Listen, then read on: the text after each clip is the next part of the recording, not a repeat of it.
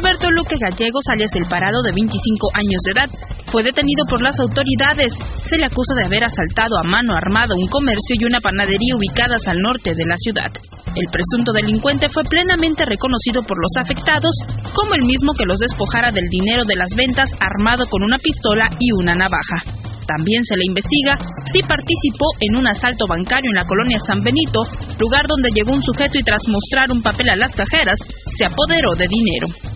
En otros hechos, en la ciudad de Navojoa una pareja fue detenida por agentes federales al encontrarse en posesión de 2 kilos 100 gramos de heroína. Los implicados dijeron llamarse Victoriano de la Rocha Reinaga y Anabel Martínez Muñoz.